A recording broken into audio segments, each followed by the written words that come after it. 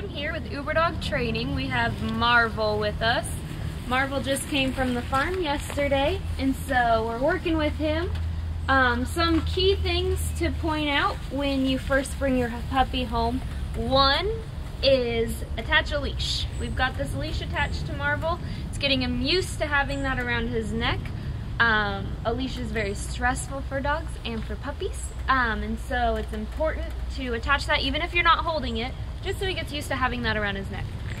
Number two is make sure and control his space. Um, if you're not actively working with him, we control his space by putting him in a crate in our house if he's not being worked, or tethering him to an object that's near us so that he only has that six foot distance to roam. So one more thing on controlling your dog's space that we wanted to mention was um, feeding. We want to feed Marvel or your puppy in their crate if that's where you're going to be putting them. This gets them used to their crate, excited about going into their crate, and it uses it not as a negative. We don't want to put him in his crate if he's being bad. We want to use that as a positive place that he feels comfortable and secure.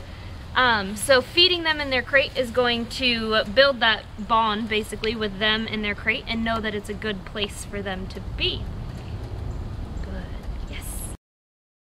One other thing is getting your dog used to different textures. We're going to use these place boards today to get him used to different textures. He's been on them quite a bit and so he's pretty used to them. You don't want to introduce um, the commands straight away. We're going to want to just do the action. Don't introduce the commands for another day or um, for another week or so to just get him used to that.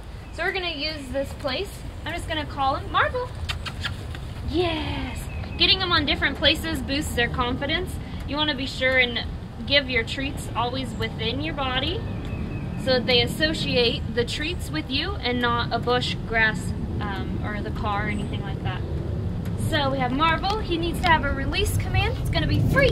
Yeah! It's important to have a release command for your dog so that they know when they are able to stop doing that um, behavior that they were doing. Good. Yes. Good. So we're just going to use marker words good and nope. Good is any action he's doing that we want him to do. Nope is anything that we do not want him to do. Good boy. Yeah. Free. Yeah!